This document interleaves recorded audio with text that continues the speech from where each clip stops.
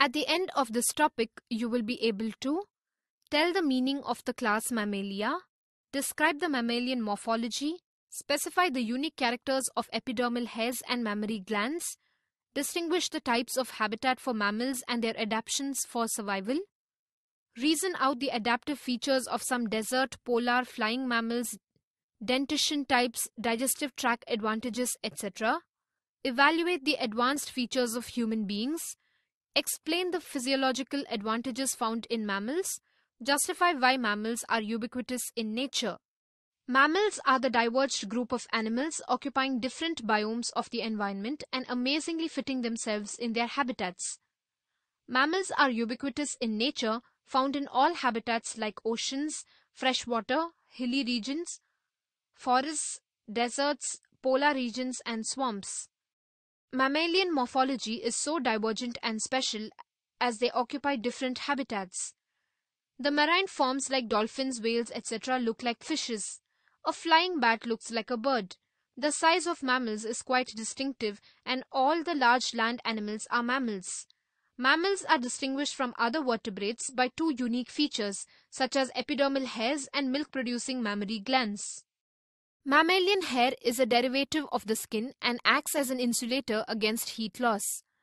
All mammals have hair inclusive of dolphins and whales in the form of bristles on their snouts. The coloration and pattern matches with background. In cats and dogs, whiskers are sensory structures.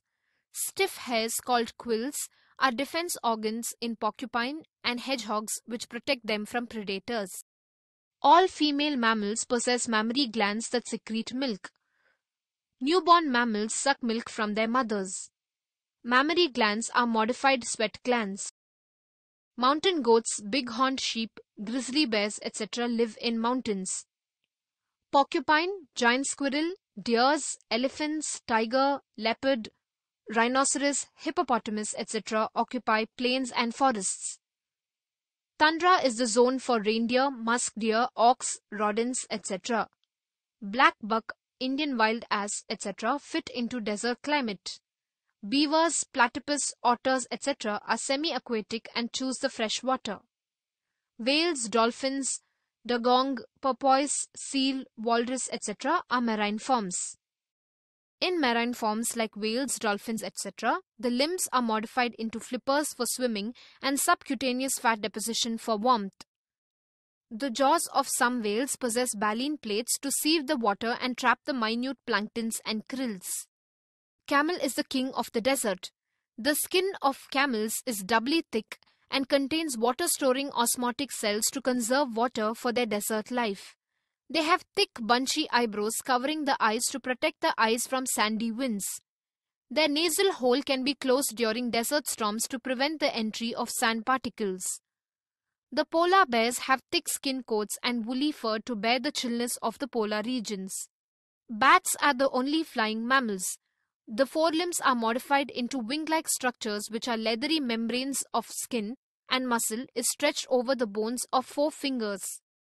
Bats hang upside down while resting. They have a special feature called echolocation with which they capture their prey and fly without hitting on other objects. Echolocation is nothing but the high-pitched clicking sound emitted by bat bounce on prey or any other objects and get back as echo of the sound waves. The marsupials developed abdominal pouches to bear the tender young ones and nourish them with milk. Most mammals are herbivores. They develop a mutual partnership with bacteria to split and digest cellulose. Mammals such as cow, deer, etc. have four-chambered stomach that function as storage and fermentation vats. The stomach of cattle is designed to ruminate or cut the food. Mammals have heterodont, that is different types of teeth, dentition. Canine teeth of carnivorous animals help to tear the food. Incisors of an elephant are modified into tusk which helps to carry heavy loads and often serves defensive. Man is the supreme mammal and an intellectual social animal. Fingers and toes are designed to carry out various fine activities like writing, holding delicate items, playing fine instruments, etc. Mammals are maintaining a constant body temperature and are called as homeotherms or warm-blooded animals. Man maintains 98.4 degree Fahrenheit to 98.6 degree Fahrenheit and it is regulated by a teamwork of sweat glands, kidneys, lungs and blood. In summer, we sweat more as supply of blood to the sweat gland increases and kidney expels less urine. In winter, the blood supply to the skin is less in order to lower the heat lost so the kidneys are triggered to expel more urine. Mammalian respiration is more efficient when compared to other vertebrates as red blood corpuscles lacked with nucleus and fully packed with hemoglobins to carry oxygen. In this topic, you have learnt mammals are ubiquitous in nature and their morphology is unique to adapt to marine, freshwater, forests, plains, desert and polar zones. A special feature of mammals is epidermal hairs and milk-producing glands. Hair helps for insulation and quills for protection in porcupine and mammary glands to secrete milk. Marsupials possess abdominal pouches to bear the tender young ones. In whales, dolphins, etc., the limbs are modified into flippers for swimming. Some whales feed on krills with the help of baleen plates. Camels possess folded skin, bunchy eyebrows, closed nasal holes to withstand the desert storm, and polar bears have thick woolly fur to bear the chillness of the polar regions. Bats fly with wing-like forelimb modification and catch the prey by echolocation. Man is the supreme intellectual social animal having an articulate fingers and toes. Digestive tract is well developed with heterodont dentition, bacterial association for cellulose digestion and stomach with chambers. Physiological advancements like warm-bloodedness, heat regulation mechanism and hemoglobins in the blood keeps mammals in the highest strata among vertebrates. At the end of this topic, you will be able to describe the components of the circulatory system, state the functions of the circulatory system of the human body, explore the structure of the human heart, label a heart diagram with correct terminology, demonstrate the functions of the heart, relate the structure of the heart to the function of the two types of blood vessels, explain the functions and properties of blood, describe the different components of blood. The word circulatory comes from the root word circulation, which means to distribute. The main purpose of the circulatory system is to distribute its components evenly throughout the body. The basic functions of the circulatory system are to deliver oxygen and nutrients to the cells, to remove waste products after metabolic activities, and to regulate temperature of the body. The circulatory system has three main components the heart, blood vessels, and the blood. Plasma makes up 55% of the volume of the blood. Plasma is composed of water, proteins, oxygen, carbon dioxide, and other substances like sodium, potassium, and calcium. Heart is a conical muscular organ involved in pumping of blood. It is present in the thoracic cavity between lungs and mediastinum. It is protected by a double membranous structure called pericardium. The space between two membranes of pericardium is filled with pericardial fluid which protects the heart from external jerk. Click the animation button and visualize the external structure of human heart. Human heart is internally divided into four chambers. Two upper, thin-walled chambers called auricles or atria which are involved in receiving blood, and two lower thick walled chambers called ventricles, which pump blood to various parts of the body. Unidirectional flow of blood is controlled inside the heart by the presence of flap-like structures called valves. Now, let us see the types of valves present at different regions of the heart tricuspid valve is present between right atrium and right ventricle. Bicuspid or mitral valve is present between left atrium and left ventricle. Semilunar valves are present at the base of aorta and pulmonary trunk. Look at the table showing the location and the role of different valves in the flow of blood.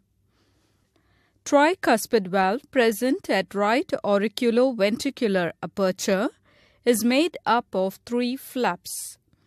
It directs the flow of blood from right auricle to right ventricle. Bicuspid valve, otherwise said to be mitral valve, has two flaps. It is located at left auriculoventricular aperture and directs the flow of blood from left auricle to left ventricle. Pulmonary valves or semilunar valves is moon-shaped and three in number. It is present at the origin of pulmonary aorta in the right ventricle. It allows blood to flow from right ventricle into pulmonary aorta.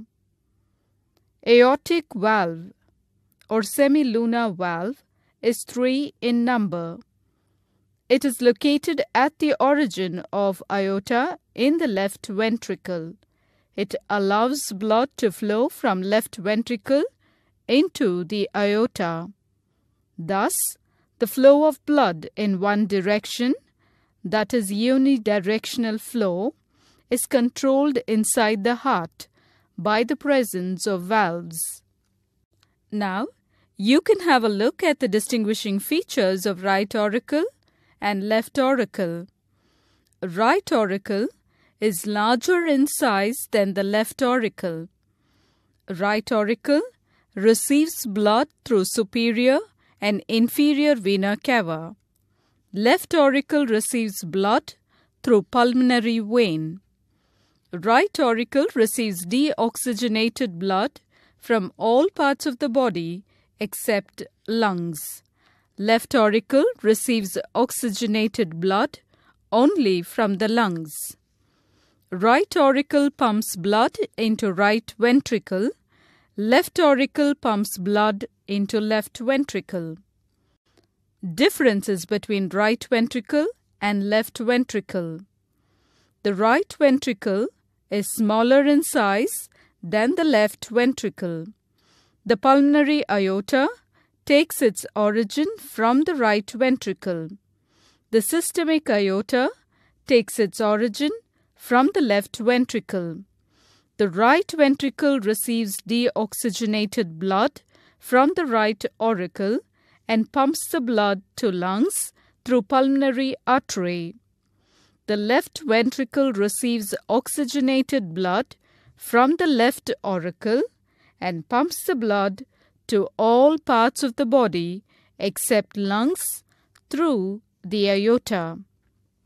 The tricuspid valve guards the right auricular ventricular aperture. The bicuspid valve guards the left auricular ventricular aperture. Blood vessels which carry the blood away from the heart are called arteries. It normally carries oxygenated blood. The systemic aorta and pulmonary aorta are the two main arteries arising directly from the heart. The systemic aorta arises from the left ventricle, carries oxygenated blood to all the body organs except lungs. The pulmonary aorta arises from the right ventricle. It branches outside the heart into right and left pulmonary arteries which carry blood to right and left lungs respectively. It is the only artery which carries deoxygenated blood to the lungs for purification. There is a pair of coronary arteries that supply oxygenated blood to the heart muscle. The blocking of coronary artery results in a heart attack. Blood vessels which bring the blood towards the heart are called veins. It normally carries deoxygenated blood. Superior vena cava, inferior vena cava, and pulmonary vein are the three large veins that bring the blood to heart from all the parts of the body. The superior vena cava collects deoxygenated blood from the upper parts of the body, such as head and neck. The inferior vena cava or post caval vein brings deoxygenated blood from the lower parts of the body, such as abdomen, hands, and legs. Both these veins open into the right auricle. The pulmonary vein brings oxygenated blood from the lungs and opens into the left auricle. It is the only vein that carries oxygenated blood. A pair of coronary veins brings deoxygenated blood from the walls of the heart and opens into the right auricle. The rhythmic contraction and relaxation of cardiac muscle produce a heartbeat. In a normal person, heart beats 70 to 80 times per minute. Contraction phase of the heart is known as systole and the relaxation phase of the heart is known as diastole. Functioning of heart includes three phases as follows. Auricular systole is the phase during which both the auricles contract at the same time and pump blood into the ventricles. Ventricular systole is the phase at which both the ventricles contract at the same time and pump blood into blood vessels. During ventricular diastole, both the auricles and ventricles relax. The study of blood is called hematology. Blood is a fluid connective tissue having several different types of cells present in the intercellular fluid called plasma. These cells are called blood cells or blood corpuscles. An average adult has about 5 liters of blood. In fact, blood is called fluid tissue of the body. Visualize a schematic representation of composition of blood. Components of blood plasma. Plasma is straw colored and clear. It is slightly alkaline in nature. It consists about 60% of the total volume of the blood. About 85 to 90% of the plasma is water. Plasma consists of organic and inorganic components. Inorganic components the total salt content in the blood plasma is about 0.85 to 0.9%. The chlorides and bicarbonates of sodium are the major inorganic salts present in the plasma. Apart from this, minute amounts of iron, phosphorus, and iodine are also present. These salts maintain osmosis, acid base balance, and so on. Organic components About 6 to 8% plasma is represented by organic components. The major organic components are sugars, especially glucose, amino acids, fatty acids, urea, lipids, and proteins. Blood contains heparin, which helps in the clotting of blood. Plasma contains small amount of gases such as oxygen and carbon dioxide. These gases are present in a dissolved state. Proteins present in blood plasma. Albumin is a major protein. It helps in the transport of some substances and maintenance of osmotic pressure of the blood. Globulins participate in the transport of substances, defense reaction of the body, and in maintenance of osmotic pressure. Fibrinogen and prothrombin are blood proteins that help in the clotting of blood when the blood vessel is injured. Red blood cells are otherwise said to be erythrocytes.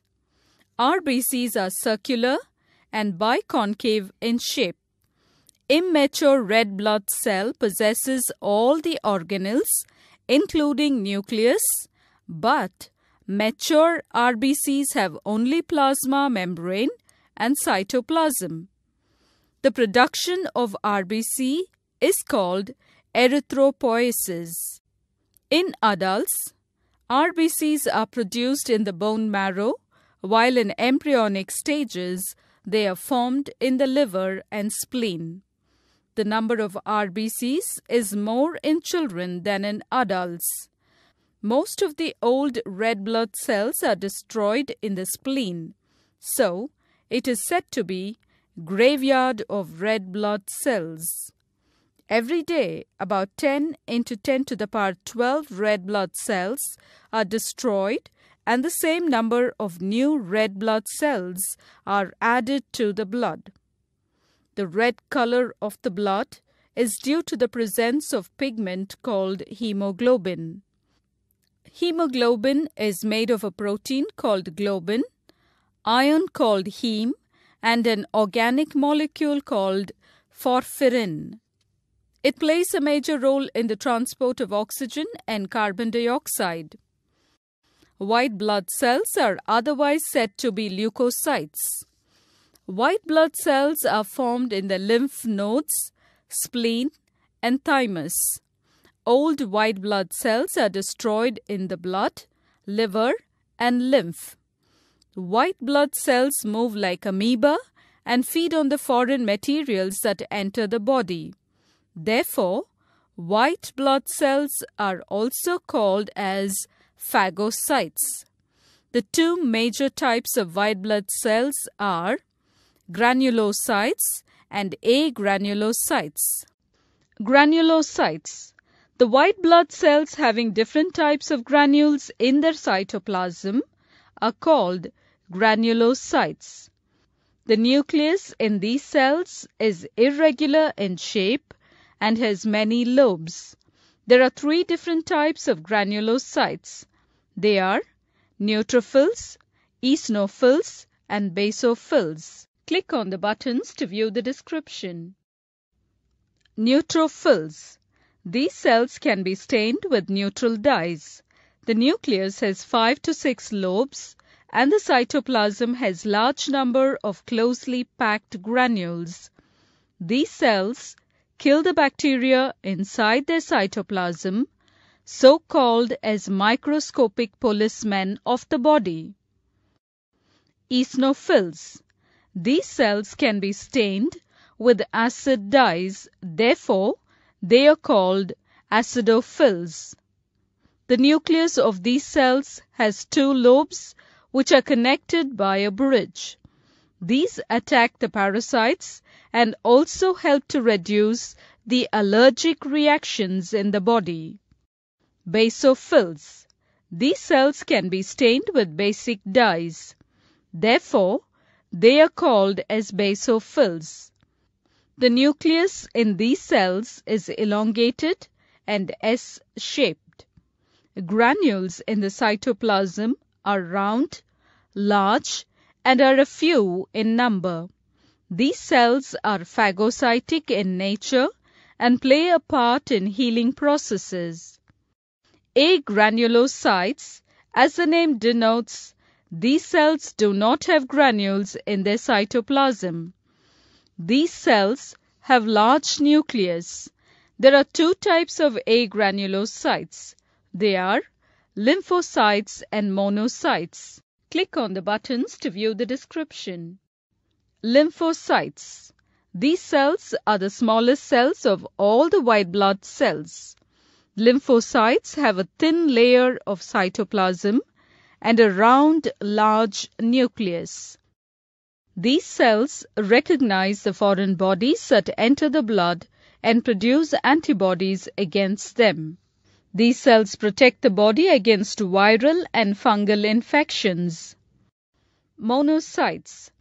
They are the biggest of all the white blood cells. These cells have kidney-shaped nucleus. They invade the infected area and kill the bacteria. They also play a major role in developing immunity against diseases. The number of monocytes increases in leukemia. Blood platelets are otherwise said to be thrombocytes. These cells are oval or round or biconvex in shape. These cells have cytoplasm but no nucleus. They play a major role in the clotting of blood. Click the animation button to view the role of blood platelets in the blood clotting. In this topic you have learnt circulatory system in humans is composed of heart, blood vessels and blood. Heart is protected by a double membranous structure called pericardium. Bicuspid valve is otherwise said to be mitral valve which is located at the left auriculo-ventricular aperture of the heart. There is a pair of coronary arteries supplying oxygenated blood to the heart muscle. Contraction phase of the heart is called systole and relaxation phase is called diastole. For a normal person, heart beats 70 to 80 times per minute.